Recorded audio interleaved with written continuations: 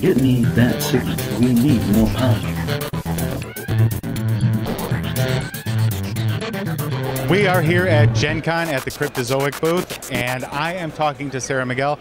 Sara, you know, we're here at Gen Con. You guys got stuff going on all over the place. Lots of stuff. Well, what I'm interested in, what I want to know is what you've brought along here to Gen Con that's new and fun, and uh, what's going to be coming up. So let's talk about this here. All right, so a lot of our new stuff. Uh, we've got Ghostbusters, which is probably one of our biggest titles that everyone's talking about. We Oh, yeah. have, yeah, I know you're a I, backer. ca- I backed it myself. Yes. Yeah, so we have a lot of the figures here. We have uh, some demo tiles. The dice are here. We have all the scenarios. We've been playing some demo scenarios, but for experienced gamers, people who, who might have played it at San Diego Comic Con, they can come play other scenarios. Um, we're really allowing people to learn the game before it comes out. It's here in its entirety. Um, whether or not it's the final production copy or not, we're still waiting on some of that. It's that game doesn't come out until October, so we got some time. Yes. Um, but yeah, everything's here for you guys to see and look at and play, and we're really excited about it. We've been getting a lot of good feedback, so we're definitely we're happy with how it's going. Was that your first Kickstarter? It was. Uh, it was my first Kickstarter personally, and our first Kickstarter as a company. Yeah. So. And it did very well. It did 1.5 million. That uh, with a 250 thousand dollar uh, cap. That's what we were aiming for was 250 thousand dollars, and we made 1.5 million. I hear Bill Murray will actually be delivering copies to people. If we could get a hold of him, that would be great. I would love it. Have him sign my copy. Yeah. Exactly. Um, we also have our new Attack on Titan vertical board game. Yes. Yes. Yes. So That- you announced that not too long ago. Not actually. too long ago, no. We uh, picked up the license. We're going to be doing some other games that we haven't quite released the details of yet, but there will be more Attack on Titan games. But right now, we're just working on the vertical board game where it is Scouts versus the Titan. So one player plays as the Titan, the other players play as the Scouts, trying to take down the Titan. And at this point, because it is still very much in playtesting mode, uh, the Titan almost always wins. So very thematically accurate. That is true. Um, we're working on balancing out a little bit, but it's it's been a lot of fun. I really enjoy playing it. It's been pretty well received, especially since the Titan always wins. I was a little worried, but Right. it's it's getting really good reviews, so we're excited about that. what kind of rating, like PG, would you give that? Um, currently, I'd probably give it. It depends on if you'd let your child watch the the anime itself. Which I don't. You know, okay. Um, it's a little bit more gruesome. The game itself will just have a Titan, and you're rolling dice.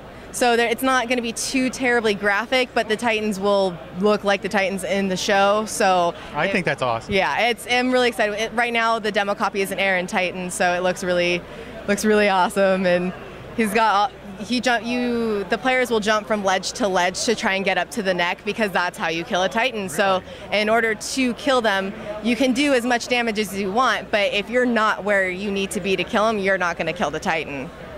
So you've got all kinds of little miniatures. Yeah, right now we're using little meeples um, Okay. for stand-ins um, until we get the real things. Very much playtest copy, but yeah, it's you go from Titan to building. You can jump. You can use cannons, swords. So there's there's a lot of options. There are a lot of options for the Titan to kill you too. They can eat people and then inevitably throw up that giant ball and just destroy everything. Um, they destroy the tower if they kill one of the scouts. Game over.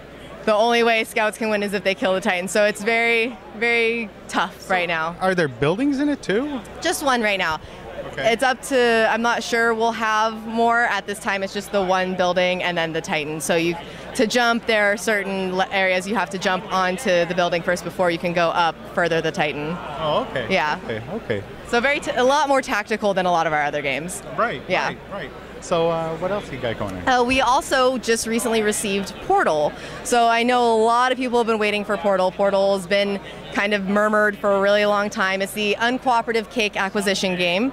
Uh, uh, you the basically cake is a lie. the cake is a lie. Um, I've been saying that forever. No one ever listened to me. Um, so you play together. It is an uncooperative game. You are trying to kill your other uh, test subjects to see who can win. Um, there's an incinerator. There are cake pieces. So the cake might not be a lie. Um, there are little test subjects, and you can. It's a modular board game, so you can kind of change how it sets up. There are portals that you can jump to and from.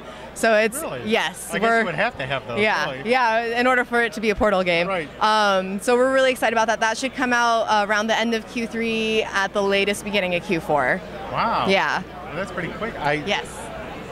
Don't, when when did you announce that? I don't even remember. It's been it was announced probably a year or two ago. It's Oh, been okay. I've constantly I was probably get- drinking that. I, I get requests. When's Portal coming out? When? So it's finally coming out. We have the game. We're just making sure everything works, everything looks good, it's high quality before we send it to Total Pack Out and get it to the distributors. Awesome, awesome. Now, what else are you demoing here? And I know Teen Titans just came out, right? Teen Titans has just come out, as well as the Arrow crossover pack 2, which is truly a crossover in every sense because it's crossed over from the comic artwork to the live television series. So it's images from the television series Arrow.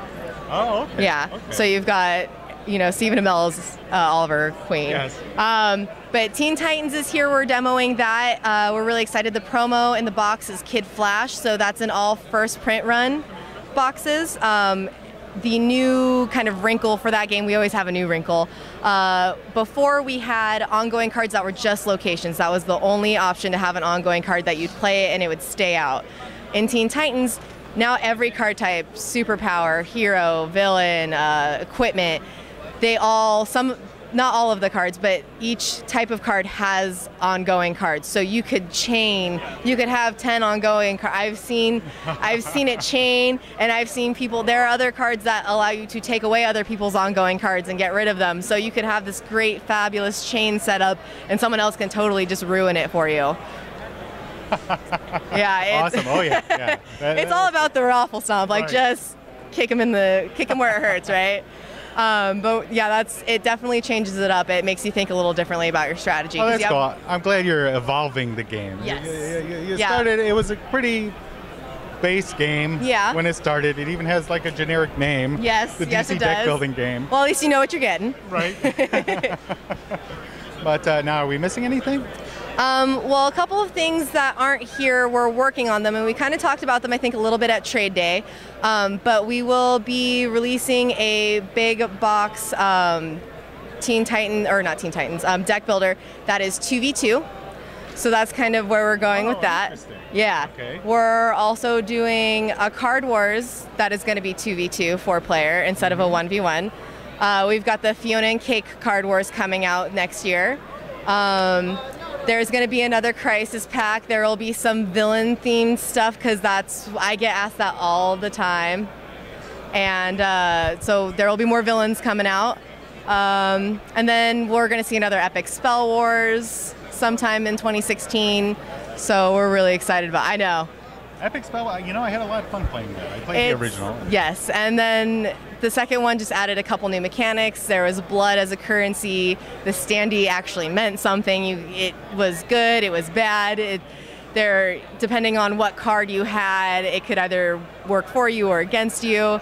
Um, there were creatures involved, so you had people to defend you.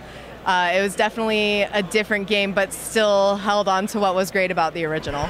Uh, Sara, can you tell me a little about Power Play? Ah, Power Play. So the NHL Power Play. So that was our first kind of dive into taking the Cerberus engine and applying it to sports. so really? it's technically compatible with DC Deck Builder, Lord of the Rings, Hobbit. You could play them all together, which is really kind of cool. But. I know, right? You got got some. Is I just thinking about it is making me laugh.